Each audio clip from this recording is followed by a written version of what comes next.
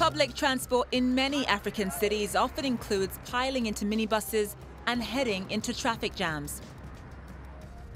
Now, Ethiopia's capital, Addis Ababa, has just opened the first metro system in sub-Saharan Africa.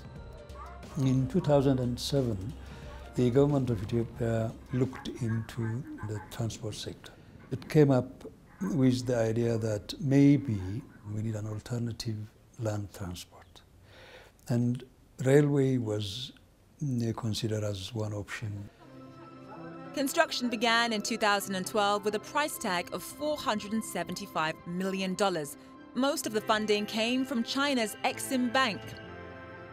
Betru says the benefits have made the project well worth the cost.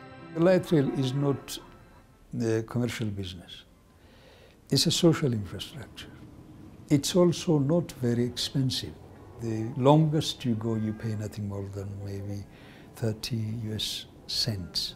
We think it's reliable. You can, you know, time yourself to go anywhere you want to go. So uh, the combined effect will give an added value to the city of Addis Ababa.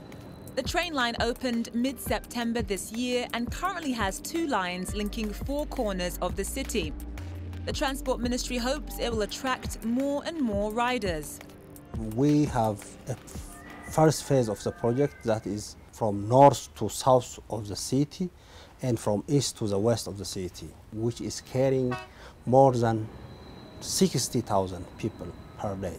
This railway is going to transport more than 100,000 people per day. So this is a big change in the transportation of this country. The terminal station. But what about minibus drivers who depend on commuters to make a living? We have a plan to work with the minibuses. We are not in what is called a big competition. We were more of complementary. Yared Tesfaye, who chairs the organization for minibuses, agrees. የአዲስ አበባ ህዝብ አራት ሚሊዮን ነው።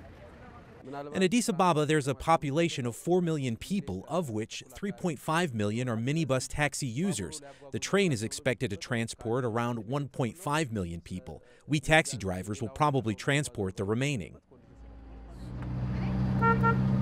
With Addis Ababa set to expand its rail system in the coming years, Gebayu is optimistic about the future.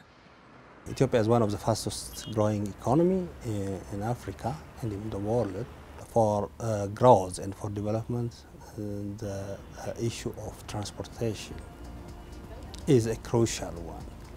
If at all one country is going to be developing this infrastructure and transportation should lead that development. That's what we are making in this country.